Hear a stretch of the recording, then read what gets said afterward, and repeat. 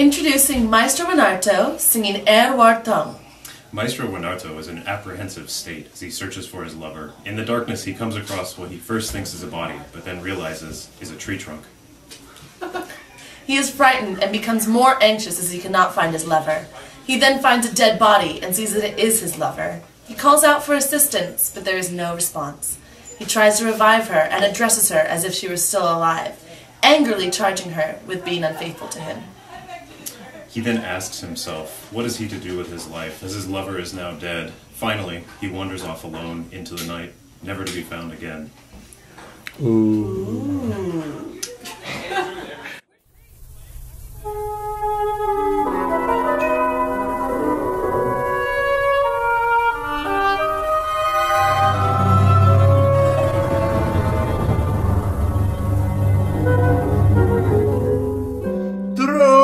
wood, I see no pathway.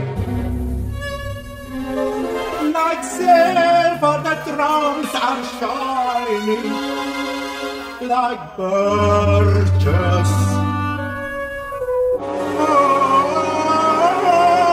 our garden, the flowers for him have faded away.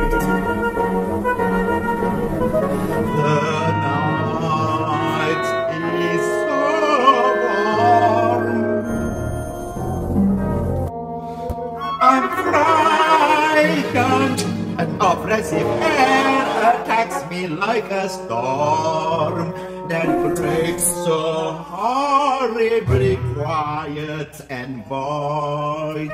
Yet around me still is bright. The moon just now was so bright.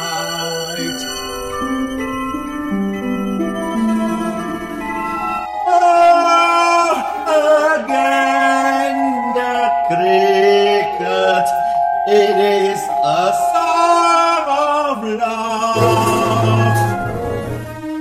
Don't speak now. It is so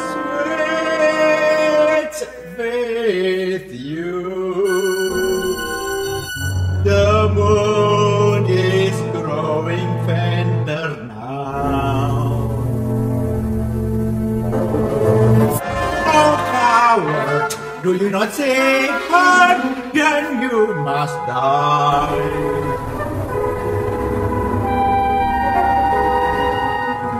How painful the silence is.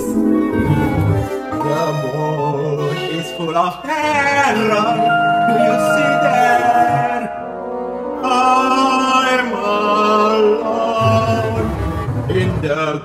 Gloomy shadows. If I sing now, she'll hear my voice.